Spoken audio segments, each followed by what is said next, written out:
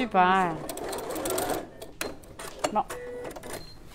Je me rappelle plus qu'est-ce que j'allais dire par contre. Quand, quand, quand ça a bugué, Oui, oui. j'expliquais. euh, Est-ce que quelqu'un peut me ramener à l'ordre? Ben écoute, pour poser ton élastique, jusque-là, ça va. Ben là, On n'entendait pas ton explication, Sab. Je pense que tu parlais des élastiques, le fait que c'était.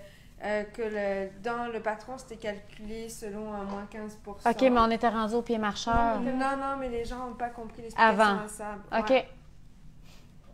Il me semble, c'est ce que j'ai lu en OK. commentaire. OK. Ben, dans le fond, les élastiques, euh, les élastiques sont euh, calculés en fonction euh, d'un 15 de moins par rapport à la valeur du dessus de la bobette, dans le fond.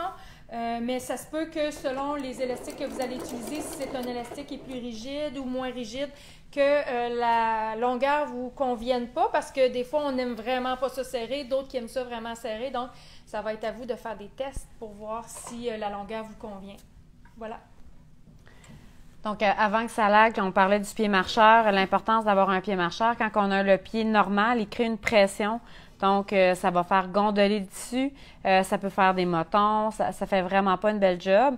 Tandis que le pied marcheur, c'est un pied qui marche. Si on regarde, euh, le, pied marcheur, les griffes ici montent et descendent parce que euh, ça va en même mouvement que le poteau d'aiguille est à côté ici. Donc, ça permet quelque chose qui est pas, qui ne crée pas de pression. Donc, c'est plus facile euh, à la machine à coudre de, de travailler dans l'extensible avec le pied marcheur. J'ai envie de dire que c'est un incontournable. Sinon, il faudrait vraiment diminuer énormément la pression du pied, puis c'est un plus, beaucoup plus complexe. Ben, quand on fait un zigzag aussi, ça peut faire en sorte qu'au lieu de faire un beau zigzag, que ça ait tendance à faire un peu plus de surplace quand on n'a pas le pied marcheur. Effectivement. Et aussi, euh, réexpliquer pour le zigzag, parce qu'il n'avait pas entendu pour la longueur de point. Donc, euh, le zigzag, c'est important d'avoir une extensibilité qui est très intéressante parce qu'on veut pas que ça vienne couper au niveau de la cuisse. Donc, on va aller chercher un zigzag qui est large. On va aller chercher le, le maximum de largeur qu'on peut aller. On va chercher quelque chose qui est pas trop long parce que plus notre zigzag va être long, moins il va être extensible. Plus notre zigzag va être proche, plus il va être extensible au même titre qu'à la recouvreuse ou à la surjeteuse. Plus notre longueur de point est longue, moins c'est extensible. Plus notre longueur de point est courte, plus c'est extensible. Donc, c'est vraiment à prendre en considération. Donc, ici, j'ai commencé euh, mon zigzag sur le bord de, de la bobette. Je vais ensuite venir prendre mon élastique. Je vais venir me mettre une pince. Ça, c'est à la fin. Puis, je vais m'étirer comme ça. Je vais étirer mon élastique pour venir déterminer où est-ce que je vais venir mettre une autre pince. Parce que mon élastique, je dois le répartir égal partout. Puis là, ben, il ne reste plus qu'à le poser. Je vais beaucoup venir travailler avec mes bouts de doigts.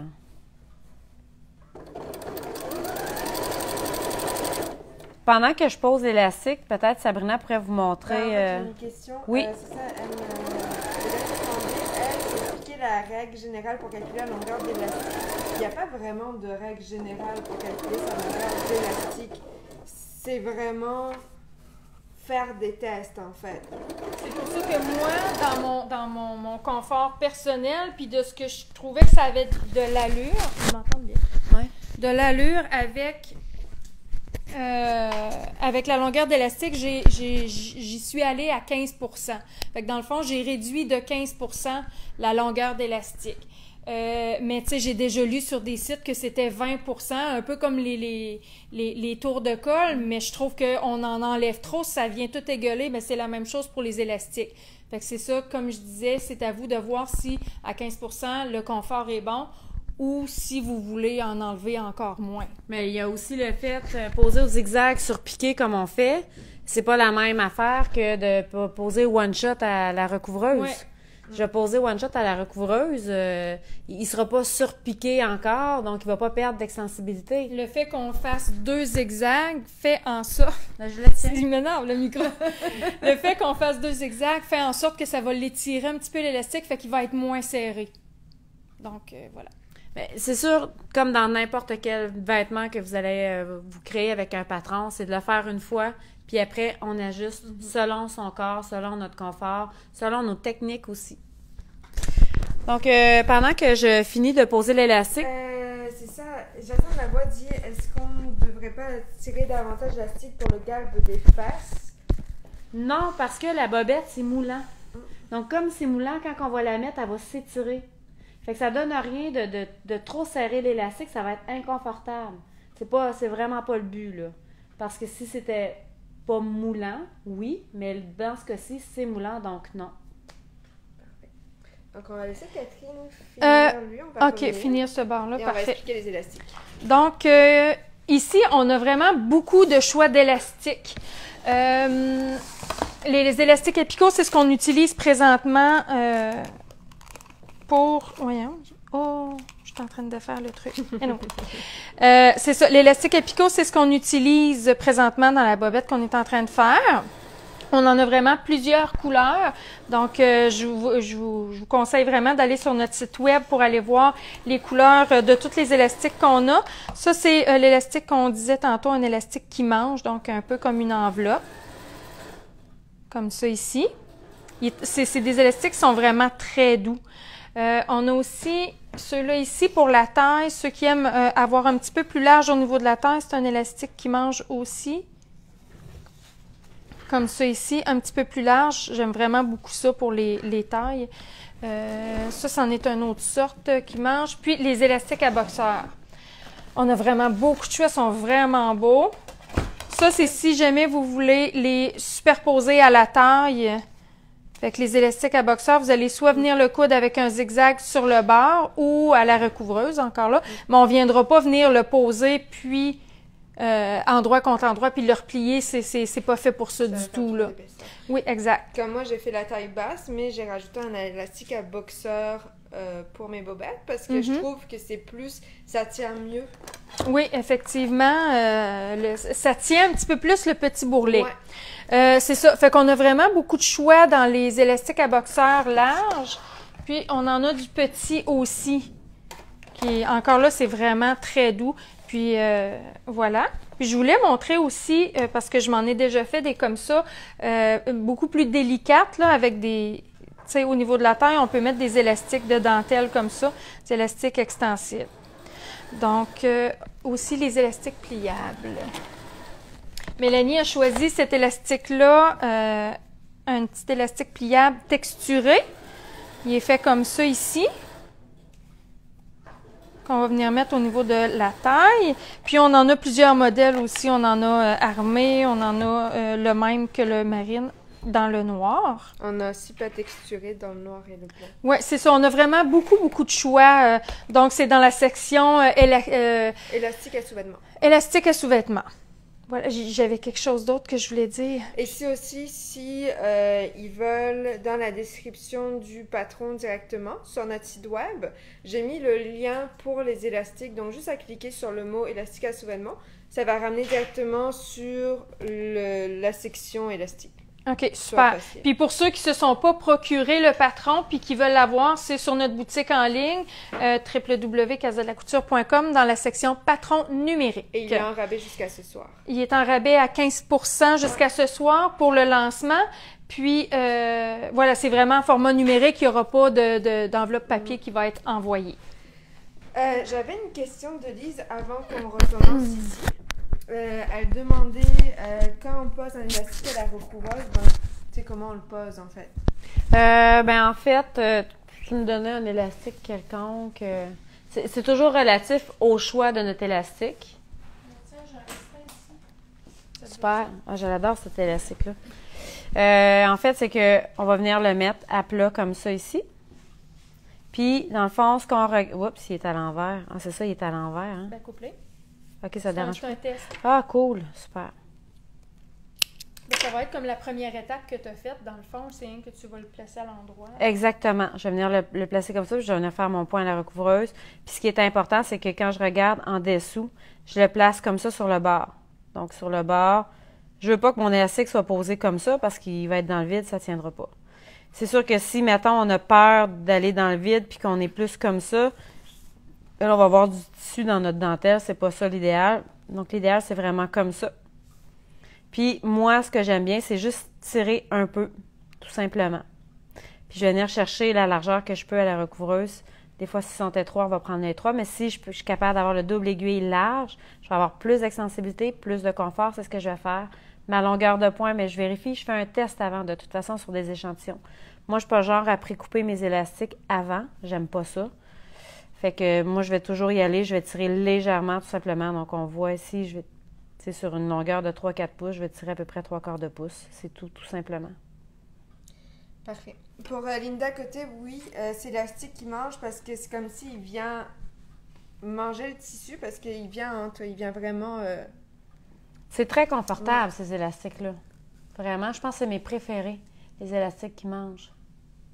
Mais c'est sûr que il faut concevoir que ici on vient replier, donc on a une valeur de couture d'un quart de pouce. Si on met l'élastique qui mange, on va venir la couper cette valeur de couture-là, parce qu'elle n'a pas lieu d'être. Ça va être trop large, à moins que vous, vous oubliez de couper votre valeur de couture, puis vous êtes confortable avec ça. Allez-y. Ça, ça fait plus de tissu au niveau de la Ouais. fourche. Ben, surtout que le patron, il, il est vraiment vers la cuisse, donc il vient vraiment. euh, Bien bien couvrir. Oui, c'est ça, il est très couvrant, donc ça, c'est aussi à prendre en compte pour ce patron-là. Euh, puis aussi, ce que j'ai vu dans mon cours, puis ce que j'ai fait tantôt, j'étais contente que tu parles des élastiques. Quand je suis venue poser mon élastique, je je suis arrivée à la fin, j'ai fait merde. Ah. Par défaut, on a tendance à, à vouloir venir mettre l'élastique jusqu'en haut, mais c'est notre latéral. Donc, faut pas se rendre jusque-là. C'est à faire attention. Même moi qui étais habituée, ben, je il a vu que je découpe mon élastique puis que je le repose pendant que Sabrina vous expliquait les élastiques. Je l'ai faite, cette Ah, erreur-là. ok, tu viens de faire ça là. Oui, j'ai fait ça là. Ah, J'étais vraiment contente que tu aies des choses à dire. Donc, euh, voilà. C'est ça quand on va trop vite, hein? Fait que tout simplement, ce qui me reste à faire, c'est de venir surpiquer mon élastique. Je vais utiliser le même point. Donc, mon élastique que j'ai posé comme ça, je le retourne et je viens faire une surpiqûre. J'utilise encore le point zigzag. Puis là, je ne veux pas le poser sur froncé, donc oui, je vais venir l'étirer. Je ne viens pas l'étirer comme ça, là. Juste léger.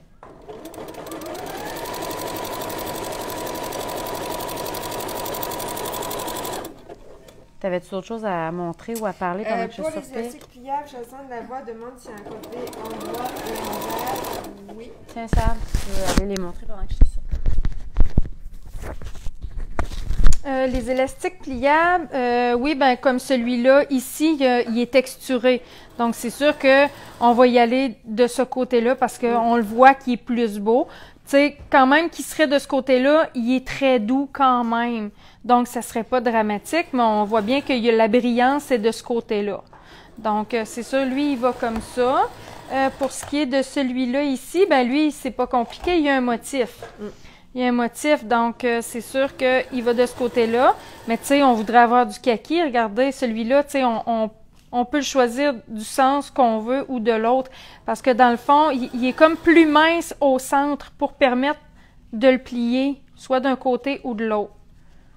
Donc euh, voilà, c'est le sens. euh,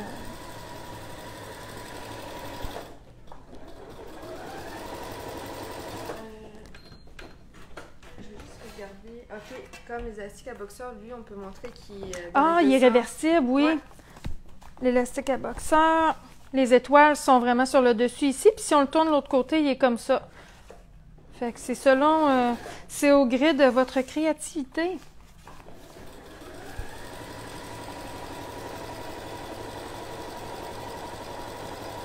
Est-ce que tu te sens surveillée, Catherine? Non, pas du tout. Quand on arrive au moton, là, de le dire plus marcheur, de venir le replacer. Ils sûrement pas entendu le moton. Ah, quand on arrive au moton, ben c'est ça, on est obligé d'arrêter puis de relever le pied marcheur puis de venir y donner un coup de pouce. Parce que moton que ça fait ça fait une bosse. Il y a Ah, quand ah, ah. même, euh, tu sais, au, niveau ici, des coutures, ouais, c'est ça, il y a quand même trois épaisseurs de tissu, plus l'élastique. Fait que je suis venue l'aider à passer au travers. Puis quand on vient aider, faut pas trop tirer encore parce que ce qu'on veut pas, c'est que l'aiguille soit tirée vers l'arrière, qu'elle se cogne le nez sur la plaque d'aiguille, puis que ça, ça, ça fasse une aiguille pointée. Comme ici, ça bloque. Je vais donner un petit coup de pouce. Tu sais, c'est vraiment léger le petit coup de pouce. Si vous avez fait du surplace, par contre, pendant euh, 10-15 secondes, il y a des chances qu'il y ait un gros moton de fil. Là, euh, il faut tout démancher. Donc, mes deux cuisses sont faites. sont surpiquées. Fait que ce qu'on va venir faire, c'est venir coudre une latérale. Euh, ici, moi, ce que j'aime faire, parce que je veux que ça soit euh, égal, si je m'en vais à la surjeteuse, c'est sûr que la surjeteuse, avec la pression du pied, ça peut décaler.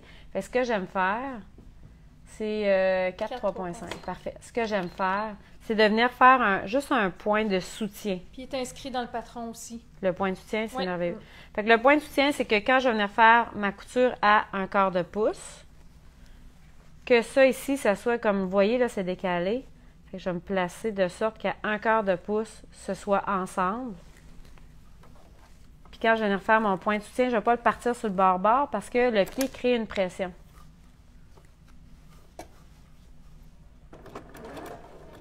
Ah, j'aurais pu faire une longueur de point plus longue encore.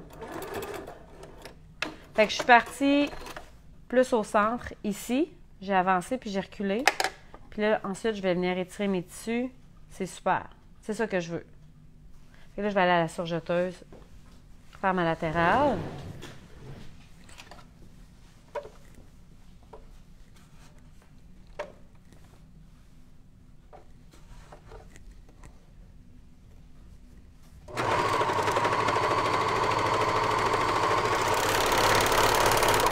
Mes bouts de surjet, je les laisse là. Hein. Je les... Tant ce longtemps qu'ils ne sont pas barrés, je touche pas à ça.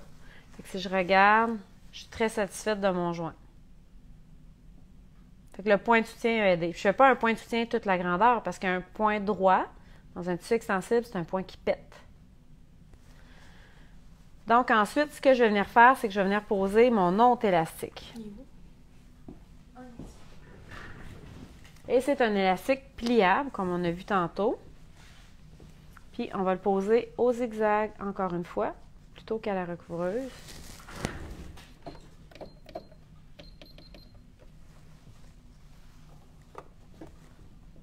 Encore une fois. Si ça peut vous aider, c'est de le mettre plus long pour vous aider à partir. Je vais juste me setter comme il faut. OK. Fait qu'ensuite, je vais venir utiliser les petites pinces. Dans ce projet-là, j'aurais pas tendance. euh, ben, la question n'a pas été posée, là, mais euh, euh, pour ceux qui penseraient la faire à la double aiguille, moi, je la ferais pas à la double aiguille. Non, pas du tout. Parce que c'est un point qui est pas assez extensible. Le, le- moi, je trouve que la double aiguille, c'est un dépanneur. C'est pas ça pour faire un bas de legging non plus. C'est pas bon. C'est pas. Le legging étant très extensible. La double aiguille, c'est pas un point qui est très extensible. C'est vraiment un point de dépannage. Donc, pour faire un bas de robe, un bas de manche. Mais rien qui est moulant, qui doit être extensibilisé. J'aurais pu mettre des petites pinces, mais euh, pour aller plus vite, je vais pas mettre des petites pinces.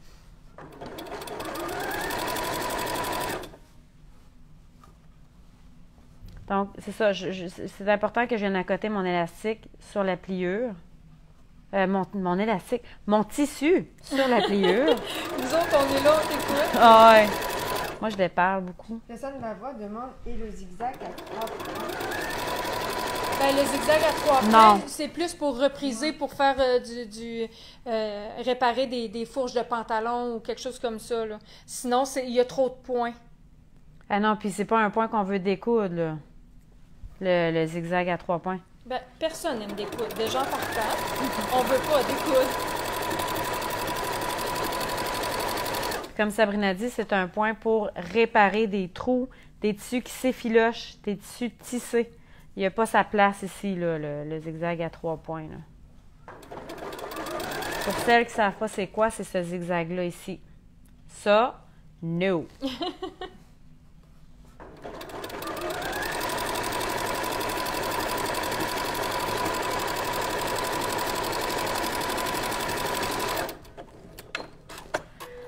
Donc, si vous voyez, il nous reste juste une latérale à venir faire ici. Encore une fois, je vais aller au point droit avec une longueur de point qui est longue. Je vais venir tourner ma bobette à l'envers pour que ce soit endroit contre endroit. Puis, je vais venir faire un point parce que je vais avoir un beau joint. Donc, et en haut et en bas. Je ne vais toujours pas partir sur le bord, bord, bord parce que la pression du pied peut faire déplacer. de même pour en bas ici. Avant de le faire, là, euh, on fait juste ça comme ça, puis on vérifie que c'est à notre goût.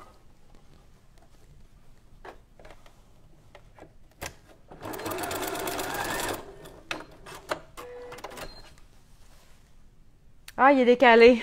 Ah. Ah! Ben, c'est pour Mélanie, c'est. C'est C'est pas grave, hein? C'est ta t'as pas le choix de Ouais, recommencer. ouais, parce que sinon, ça va s'abîmer rapidement. Ah! C'est pour ça qu'on fait un petit point droit. Je découpe très mal, mais...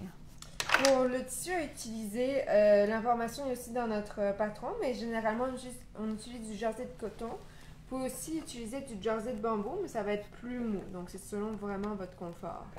Ben, moi, j'ai déjà une cliente qui, elle, elle faisait les boxeurs à son chum en jersey de bambou parce qu'en jersey de coton, il y avait chaud.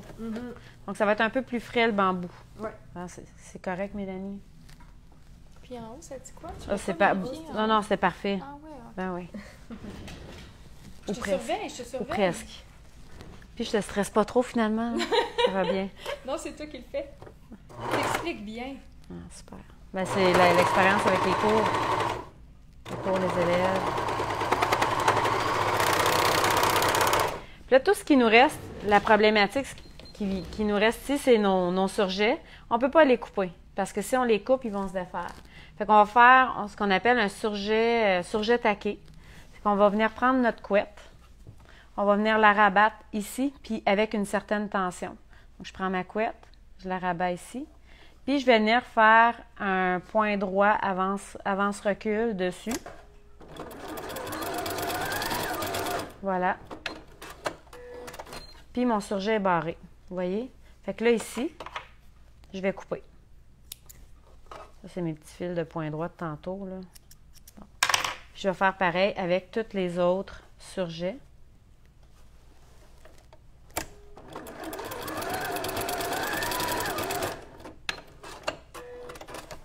Voilà. Mon surjet est coincé. On coupe. Ça, c'est mes petits fils de point droit. Bon, Mélanie est capable de couper ces petits fils qui vont pendre. Puis, il me reste le dernier surjet ici que je prends, je ramène, je tourne. C'est important de donner une certaine tension. là. Faut pas qu'il reste des petits fils euh, qui pendouillent, qui chatouillent la cuisse. Et voilà. Dans Mélanie, reste le juste à patron, l'essayer. Juste, Non. juste à dire, dans le patron, moi, j'ai fait, euh, j'ai fait taquer euh, les valeurs de couture vers l'arrière. OK. sur le dessus. Vous n'êtes pas obligé, c'est pas- c'est facultatif, mais moi, c'est juste que ça, ça me, ça me tannait. Fait que je l'ai mis dans le patron, fait qu'on peut juste venir ici pour venir taquer la valeur de couture vers l'arrière comme ça, un petit point ici, Ouais, pareil pour l'autre côté, là. parce que sinon, on a ça ici qui arrive, puis euh, c'est plus de solidité aussi. Bon, écoute, je peux le faire euh, pour la démo. Donc, on va venir taquer. On- moi, je viendrais le taquer comme ça. Ça va être plus facile que de l'autre côté où ce que ça Oh. peut bloquer. Hop, soit jam. T'es sur ta valeur. Ouais. On est sur un moton. Ma valeur de couture est taquée, mais elle dépasse. Je m'excuse, Mélanie. pas grave. Si je le fais dans l'autre sens, encore là, c'est ça, c'est une histoire de moton, hein? Mm. Voilà. Je trouve que ça va mieux dans ce sens-là. Parce que t'as pas à, à jumper un. Ouais, dans cette, ouais, Mm. dans cette optique-là. Donc ça, c'est quand que les valeurs sont taquées. Donc, euh, tu sais, ils sont pas en... Ouais. Je les dis avec un son plutôt qu'avec un mot. C'est tout. Il reste plus qu'à Mélanie à l'essayer, mais elle veut pas.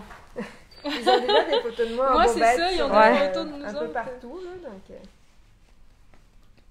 Ben, je vous remercie beaucoup d'avoir été là.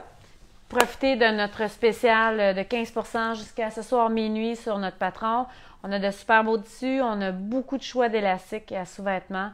Gâtez-vous. Voilà. Moi, j'aurais un petit quelque chose à dire. Attention. Oui, Ah, c'est vrai. c'est vrai, c'est vrai. on bouge beaucoup, hein? Si, vous voulez. Dans le fond, je voulais juste vous mentionner qu'il va y avoir pour cet été euh, des cours, pour des ateliers pour les enfants. Puis, on va aussi faire euh, une petite euh, session de quatre cours euh, pour les adolescents. Euh, c'est pas mis en ligne encore. Mélanie a travaillé là-dessus. Puis, on, on va déterminer les dates aussi. Donc, juste restez à l'affût si jamais vous savez que vos enfants, ça pourrait les intéresser ou vos petits-enfants. Juste passez le mot. Ça va apparaître sur notre page Facebook très bientôt. À partir de 8 ans, hein? Euh, les, les- les pour les cours. cours, ça va être à partir de 8 ans et pour euh, les ados, c'est 12-17 ans. Ouais, pour Alors cours. euh, voilà, merci beaucoup. Merci, bonne journée. Bonne journée.